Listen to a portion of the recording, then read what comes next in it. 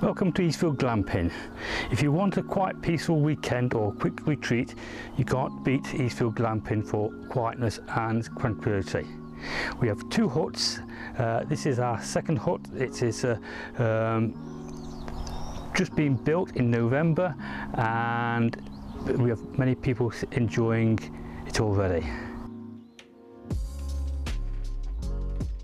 Yes, it is fitted out with a microwave, uh, twin uh, gas hob, fridge freezer, double bed, uh, all the linen is provided and it is a ensuite with shower, toilet and basin.